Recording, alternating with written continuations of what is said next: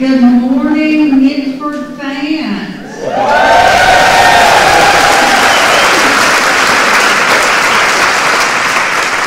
My name is Janet Winkler, and I'm the mayor of the town of Hudson, AKA Mitford. And on behalf of my fellow commissioners, whom I will introduce, I would like to welcome all of you uh, to our event this weekend and hope you have a marvelous time uh, while you're in Hudson. And if I continue to say Hudson, excuse me, but that's, that's what it is. Uh, so I would like to uh, introduce our fellow commissioners. Uh, Ann Smith, if you'd just hold your arm up. Uh, Larry Chapman. Barry Mitchell. Barry is not able to be with us today. Rick Shue. Jeff Lennox. Jim Engelman. And our town manager, Jonathan Greer.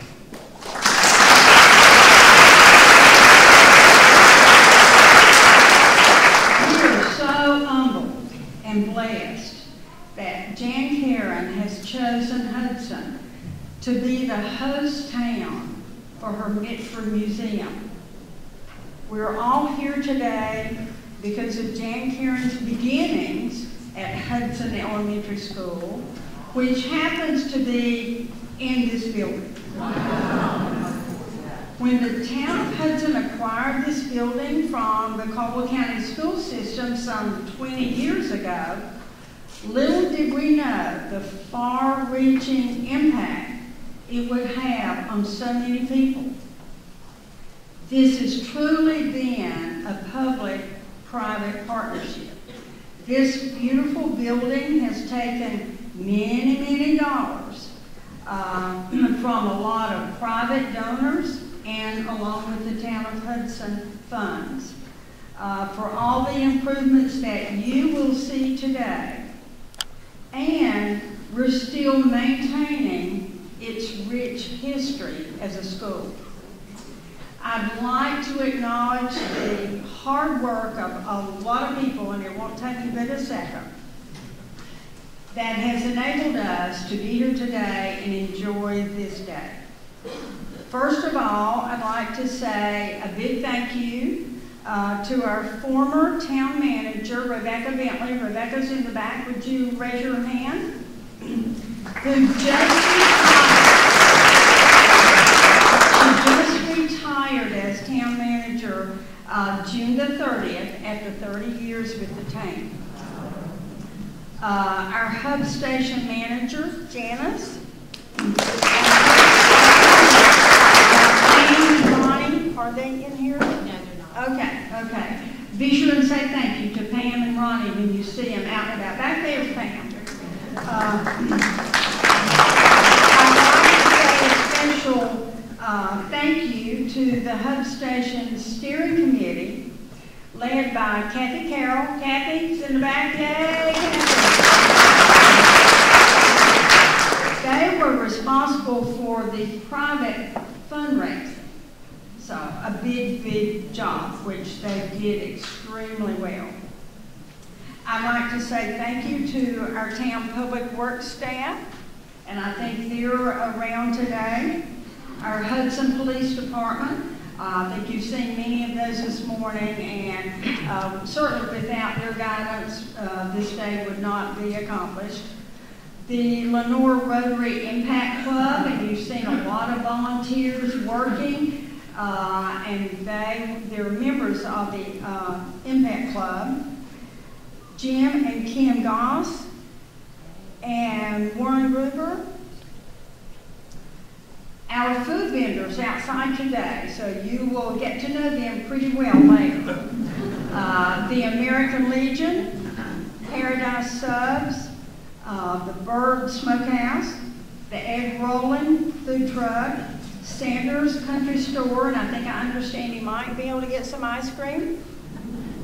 Uh, the Vintage Cafe, and the local coffee thing. I think a lot of you have already had your coffee this morning.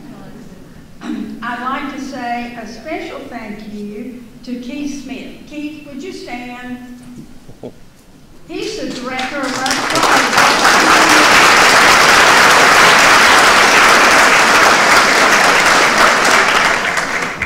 He's absolutely a genius, and if you haven't seen the play, if you get to see it tonight, you will see works. Not only is he the director of this play, he has done all of our dinner theaters in this very room since we acquired this building.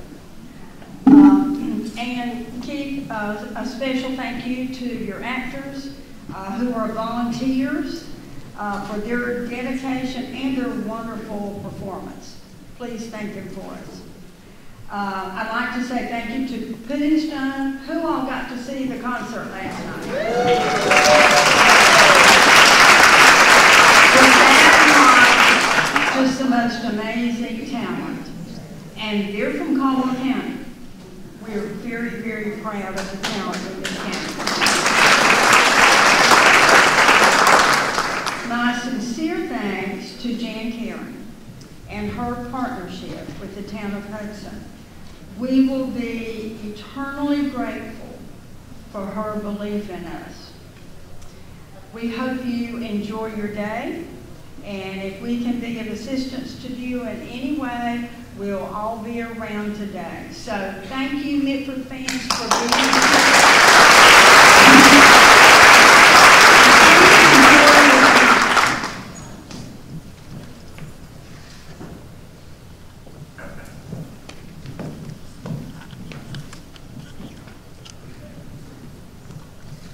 My name is Ann Smith. I'm one of the commissioners.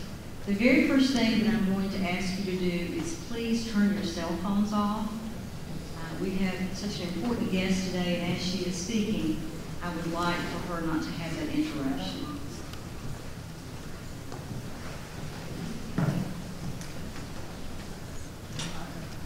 When we began to renovate this beautiful art center and realized what it would mean for the small town of Hudson, I was aware of Jan Karon and the time she spent in the halls and classrooms here. Like many of you, I had read all of her novels, and when I finished the latest book, I could hardly wait to purchase the next one. I was and in, in awe of her and her incredible talent as an artist and writer. It was here in this building as a small child, Jan's love of art and interest in writing.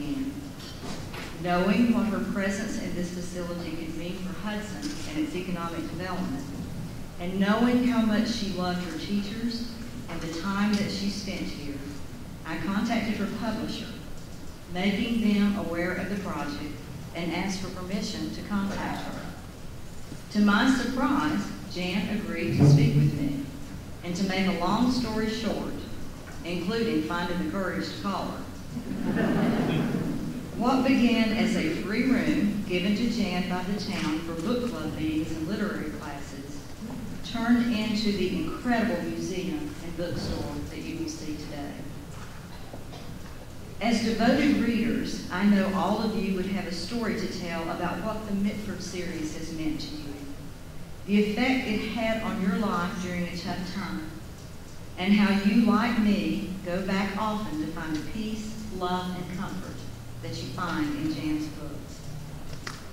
Working with Jan over the past year and a half as the museum was developed has been an amazing experience.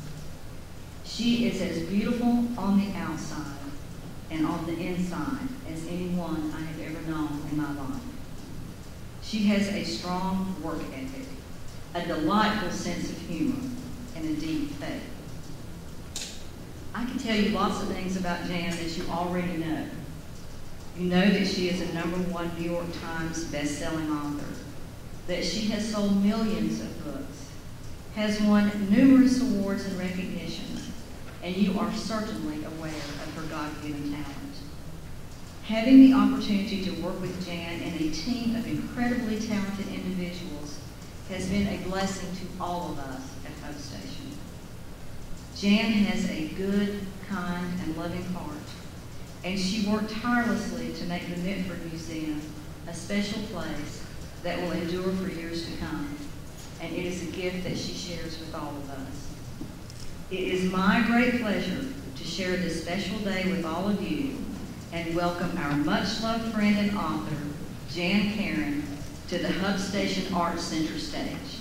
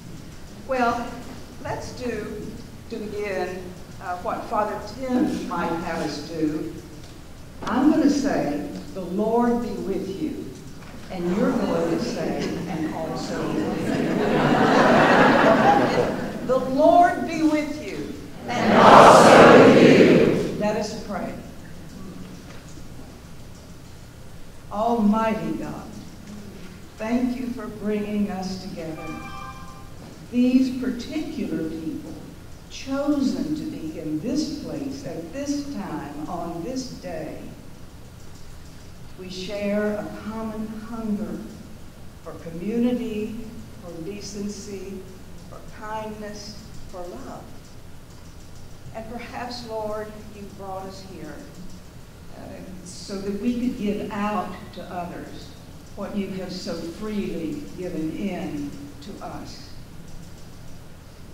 We believe you like it when you see your children being happy and enjoying your blessings and having a good time.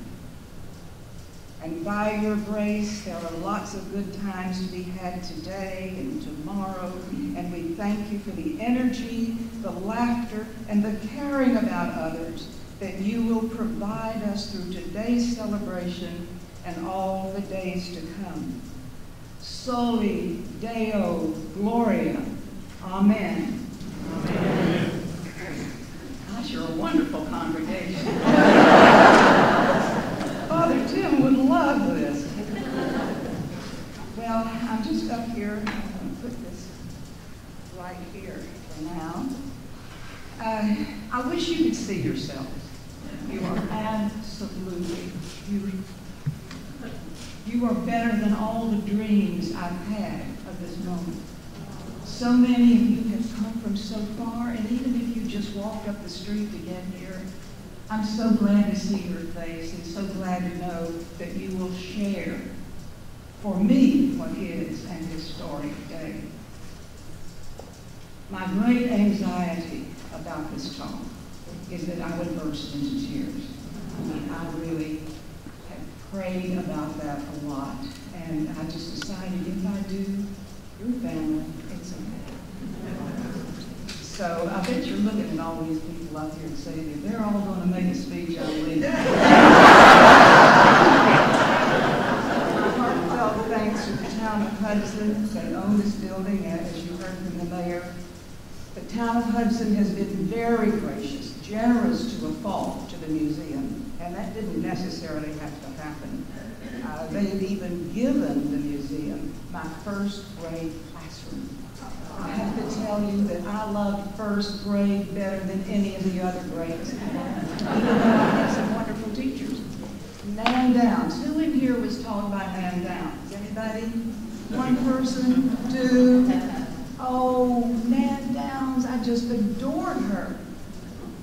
I could not wait to get to school and see Nan Downs. And why is that? Because Nan Downs loved, appreciated, and believed in her students. So wonderful to remember her. So um, I want to introduce you briefly uh, to the people who helped make this happen. Right here are my beloveds, my beloveds, right here. They have taken this as a, uh, as a ministry, as a mission. Uh, they've done it with all their hearts.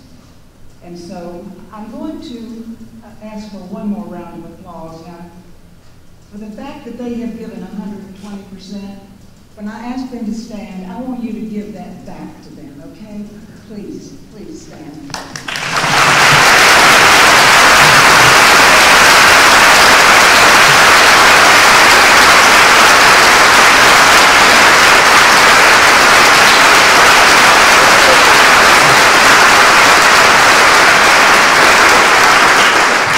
Good job out there. Uh, so, I wanted to tell you, I was going to give you an Uncle Billy joke, and now I'm just so excited. I'm like, oh, I'm just going to cry.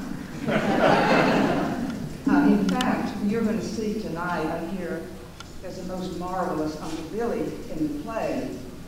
Uh, so I haven't looked for a fresh joke for Uncle Billy in a long time. It's the most amazing thing. I found there are more clean jokes out there than I there used to be when I was doing it.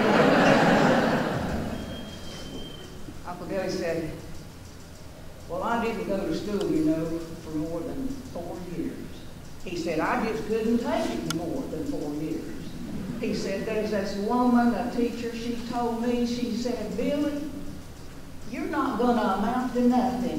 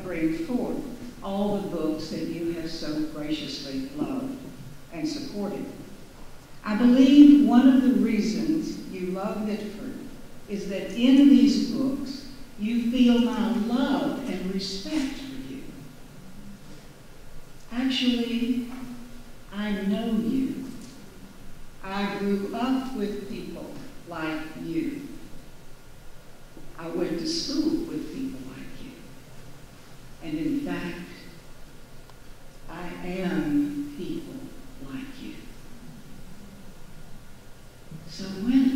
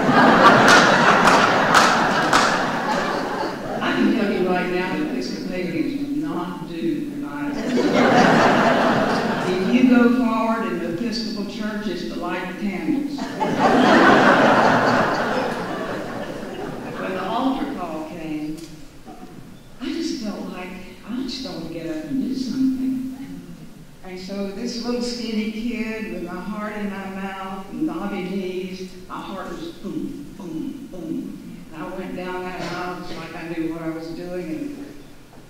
And, well, told us, come boldly to the throne of grace that we may obtain mercy and find grace to help in time of need. I didn't even know I was doing that, but it didn't take.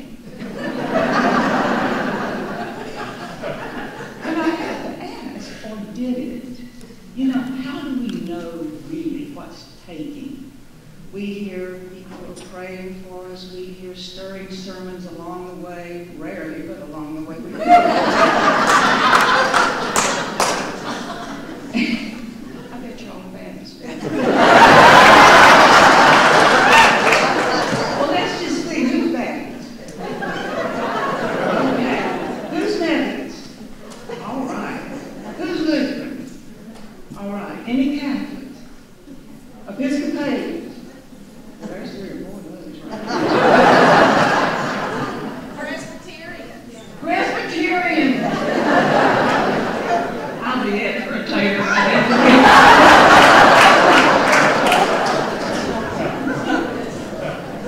Well, I'm just saying that it didn't take, but, um, you know, maybe really, uh, God uses all of those, uh, things along the way, and uh, in the end, it takes. So at the age of forty-two, I actually just got down on my knees by my bed and I just gave myself away. I just surrendered everything, what little I had, to God made known through Jesus Christ. Because I had come to the end of myself, and there was nothing else to do. Now, when you're on your knees, sometimes there are just no more excuses. You don't have any excuses left. Uh, and, and, and certainly I had to give up my hope that I could transform my life. No, I could not. And so my life was changed. And I'm telling you all this because this is how I got here, you see. This is why I'm standing here now. I'm looking out at. This is why we're here. But it sounds simple. Say, okay, she's on her knees, she's surrendered. Well, if it sounds simple, it was not. It was not simple. Life felt just as hard and sometimes harder. But the point is, I was no longer alone. I was no longer a needle in a haystack. Oswald Chambers, and many of you, because you're my readers, many of you know the name. Oswald Chambers, what a glorious preacher Scot he was. One of Father Tim's favorite lines, and he said, Having Christ in your life doesn't mean deliverance from trouble. It means deliverance in trouble. So surrendering our life doesn't make us perfect. It makes us more human. I discovered that. Isn't that ironic? It makes us more human, which I believe makes us more holy inside of the one who loved us first. So, I've told you that I call it the museum, my book without covers. And the dedication in this metaphorical book reads, dedicated to my faithful readers with love everlasting. What would you see when we open our doors after two and a half years of creating a book without covers? You'll see a picture of my great-grandparents' unpainted farmhouse that stood on a site just two miles from here. I mean, literally, we could walk I grew up, where my ancestors settled from England, and where so many of my ancestors plowed and hoed and weeded and sweated and had children, just bales of children. this house is important to Bedford and perhaps to you because it had the floor plan that I used for Meadowgate. You know, where does this stuff come from when you're writing a book? It just swims in. It just like, I don't even know myself. It's a great mystery, which is why I continue doing it. It's such a beautiful mystery. My, the, the, my ancestors' farmhouse also had the side porch where Dooley and Lace sat on the glider, and the little side room where Dooley slept during his summers with the Owens. Now, when I was three years old, and as I've been doing this, by the way, integrating the way through all the artifacts and all that, I've discovered that I have a memory of myself as much, much younger. I mean, I'm finding myself again, really. When I was three years old, my grandmother was still cooking, great grandmother was still cooking on the hearth. She was still drawing water with a hand pump. She was still washing clothes in an iron pot over a yard fire and lighting the house with kerosene lamps. What a wonderful experience that was for a three-year-old who would one day become an author, who is already picking up like a Hoover vacuum cleaner everything I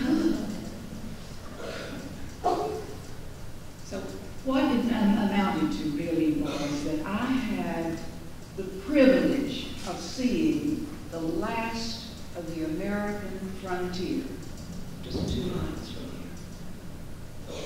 Now what else? You're going to see that iron pot, that dairy iron pot. Imagine lugging that iron pot with me all the way to California, all the way back. I mean, I've been a lot of places in my life.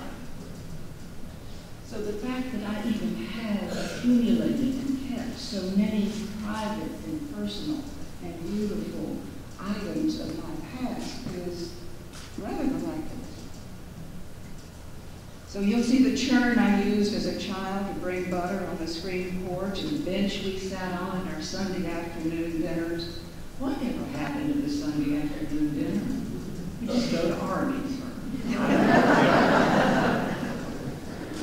so nearly everything you see in the Mitford Museum will be the real thing. Actually used and often loved in my life and in one way or another, helping to point the way to Mitford. There's just not much bakery in the Mitford Museum, except for a pie and you'll know it when you see it. Where's Kim? Right, Kim? Yeah. Kim found this pie in a junk store, an antique store called Dead People's Stuff.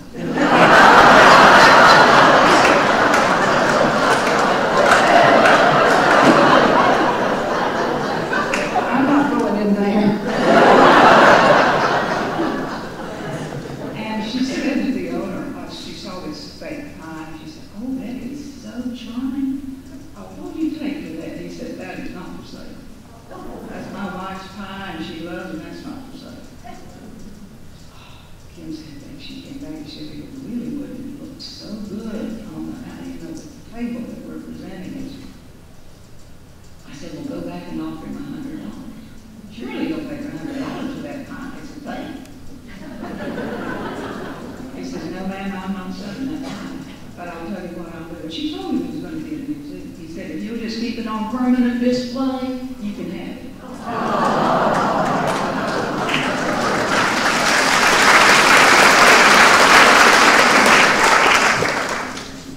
You're going to see um, the nativity scene from Shepherds Abiding.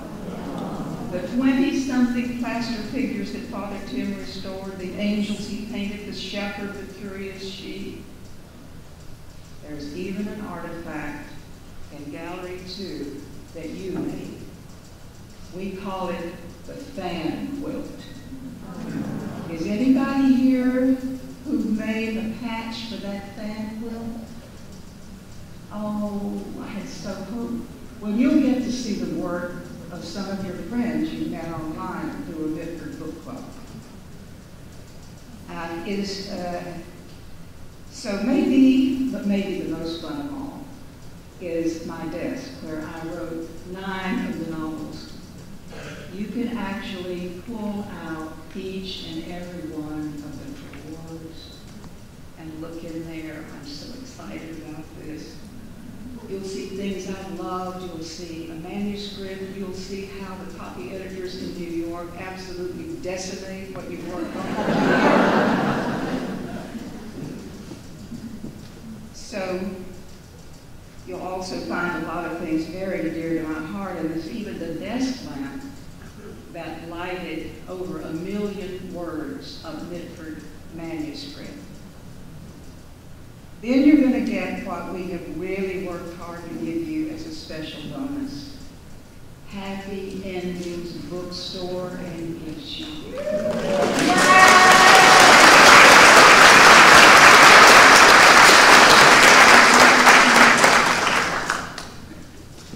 In Hudson, North Carolina, they have a shop that nobody else in the world has. It's a little shop that's all Mitford all the time. I'm so proud of that. I have to tell you that I designed a lot of the gifts in there, so if you have any complaints, please give me. Um, I wanted them to be playful and useful, uh, and to remind you when you're home uh, of Mitford. So remember, please, as you go through, that this is not my museum.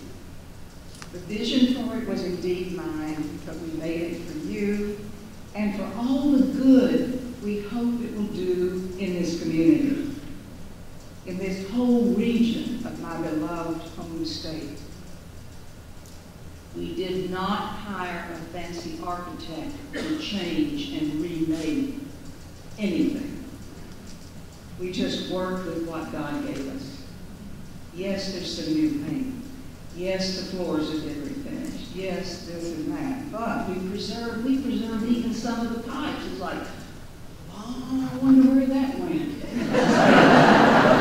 I wonder what that used to do.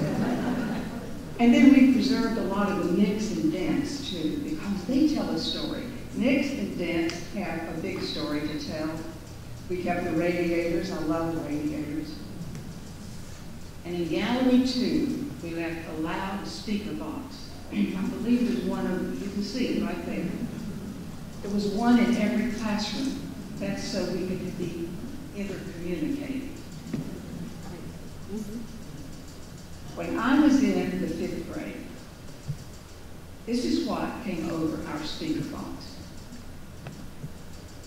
Boys and girls, the war is over. He sounded just like Churchill. Everybody at that time sounded like Churchill. we were stunned, and then we just broke into a kind of sheer, crazy joy.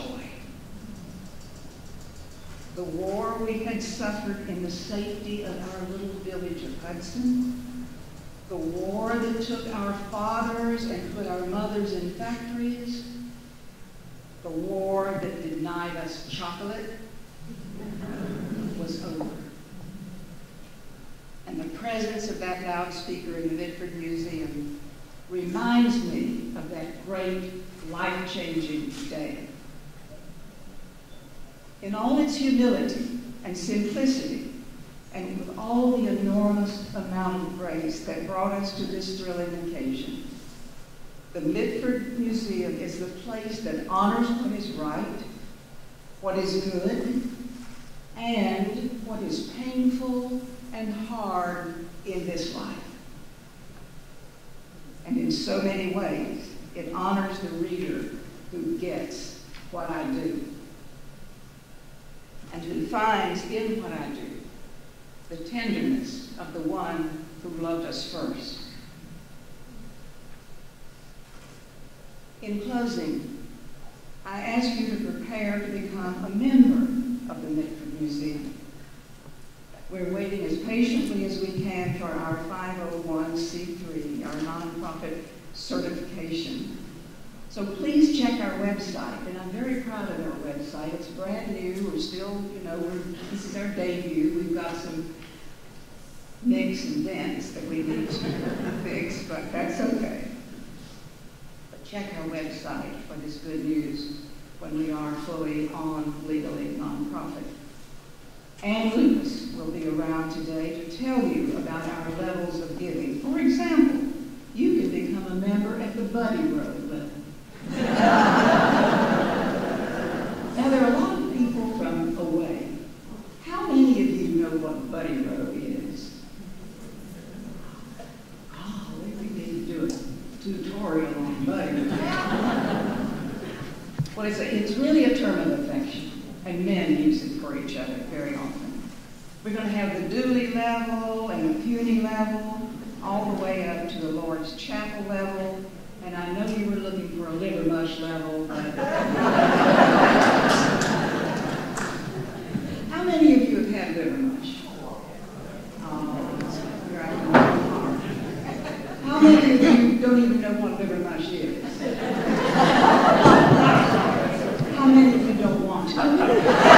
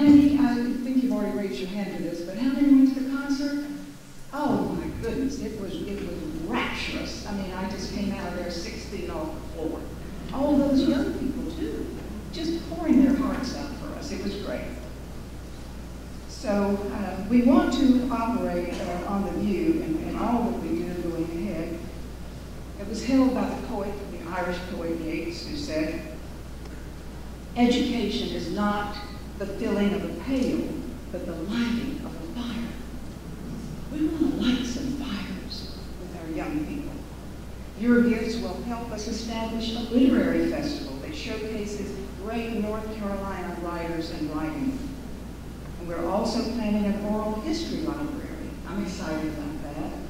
And just so much more. I can't go on and on. Read, when you go online to the website, read our objectives.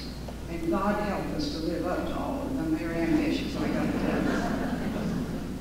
When you leave today, right outside the doors here, I hope you will visit the photography exhibition of my dear and beloved daughter. Candace Freeland. Just as I had a vision for this museum, she had a vision for something we all long for. Peace. Peace. And now it has all been said, except for this. The Lord be with you. also with you. Let's go out there and be as happy as a bird with a French fry.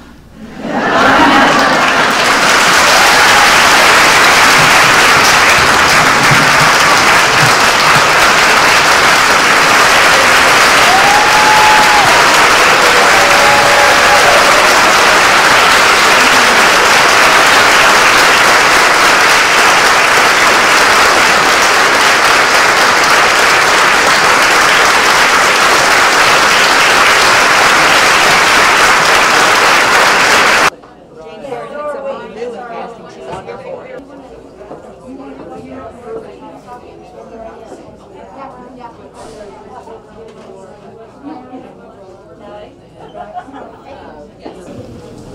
Well, I'm here to say words, but words fail me to express what a delight it is to be here with all of you who love Pittsburgh. I am absolutely overjoyed. Um, Kathy introduce myself. Kathy, did you need to? You